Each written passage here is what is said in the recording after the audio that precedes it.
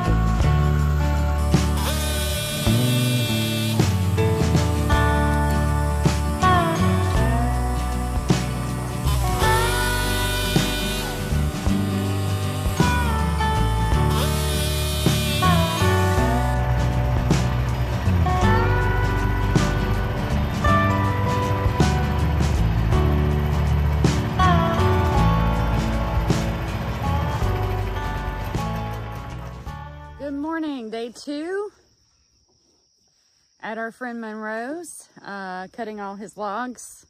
Uh, yesterday kind of caught us off guard. It got really hot.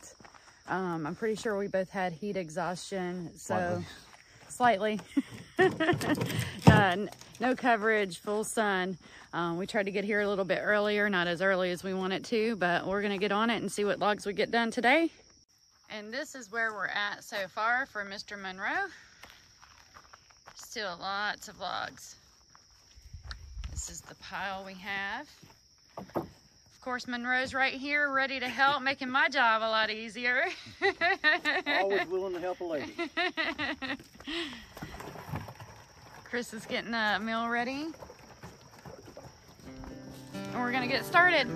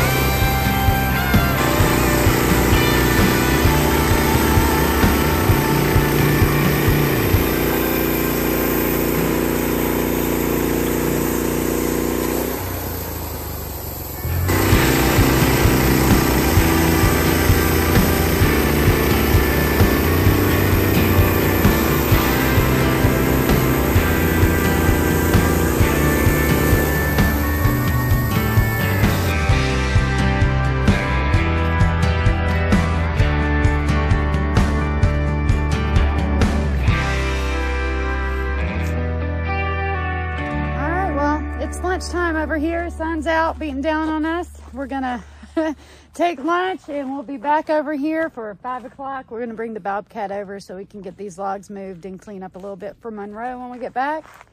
Uh, it's been a good day so far, lots of wood. Part two of day two. We're back. We moved the sawmill, got it more level. We just went ahead and brought the Bobcat with us this time so we can bring the logs over. That way we can move the sawmill and make it more level.